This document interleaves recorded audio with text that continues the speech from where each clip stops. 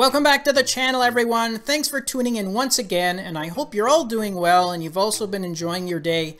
And hopefully I can make your day a little bit brighter as I have another new and paid design to give away to you guys from our friends at Regarder Watch Faces.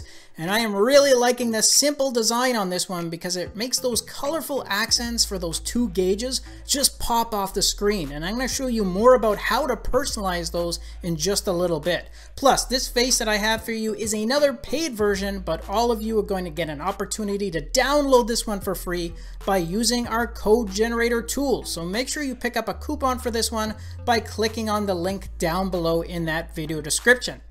Okay, so let's jump right into the review, and there's a lot to love about this design here. First, you get a ton of useful activity information on it, which means this would be a great companion to have on if you're going for a workout because you have access to 6 stats alone in the upper half of the face, Plus you get an additional two stats for your caffeine and your water intake in the bottom half, and you can see that's on either side of the digital time there. Now going back to the top area, you have your distance traveled, you got your total steps count, you got your floors climbed, and your calories burnt as digital readouts, and then for those two colorful gauges there, you have your last recorded heart rate shown on the left hand side, and your power remaining is shown on the right.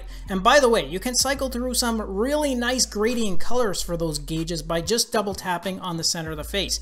And I really like those colorful gauges because they're really contrast nicely against that all black background and in some ways they kind of look like they're peering or sinister eyes looking out at me.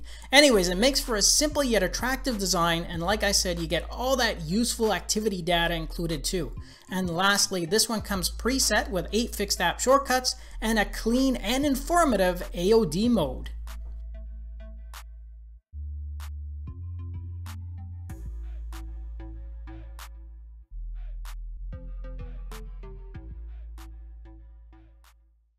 Okay guys, that's a quick recap of this clean, simple, and sporty looking all digital watch face from Regarder, and make sure you click on the link below in order to pick up a code for this one because freebies always go quickly on this channel and I want as many of you to get a copy as possible, so don't delay too long in adding this one to your collections.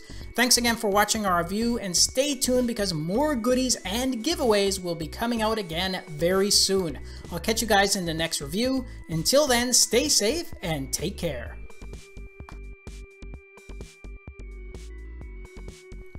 Thanks again for watching our review, and if you liked it, then show us some love with a thumbs up, subscribe to the channel, and share the video with your friends because with your support, it really helps me keep the channel going so I can continue to offer you guys discounts, giveaways, and of course, fresh content.